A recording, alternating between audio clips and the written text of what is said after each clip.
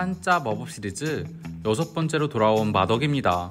이번에는 마천 세계에서 함부로 쓰면 위험한 무서운 한자 마법을 살펴보도록 하겠습니다. 51권에서 암흑상제는 거리낌 없이 대지여신을 향해 없을 무 마법을 펼치는데요. 이 마법은 한자 마법 중에서도 절대 함부로 써서는 안 되는 한자입니다.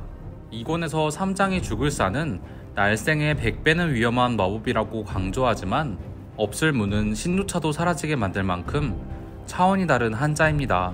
하지만 암흑상제는 자신의 어릴 적 친구에게도 이 마법을 쓸 만큼 악한 마음이 최대로 커져 있는 상태인가 봅니다.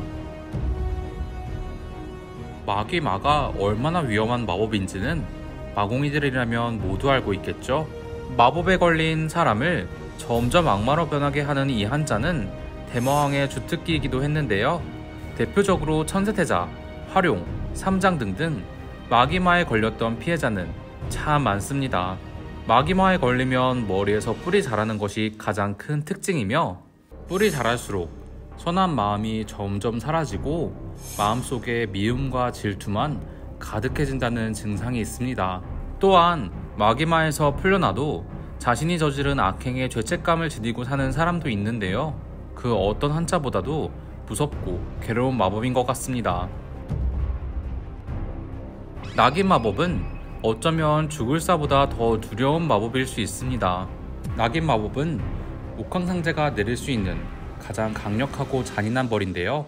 배신자에게 내려지는 가장 무서운 마법인 만큼 낙인 마법에 걸리면 이마에 도장이 새겨지며 한자를 쓸 때마다 낙인 마법에 공격당합니다.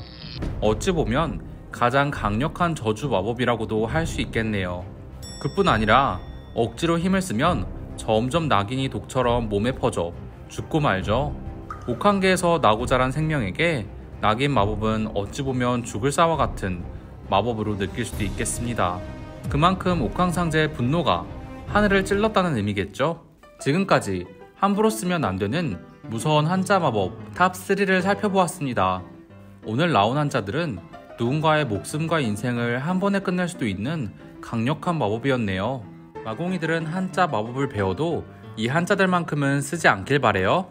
재밌으셨다면 좋아요와 구독, 알림 설정까지 클릭해주세요.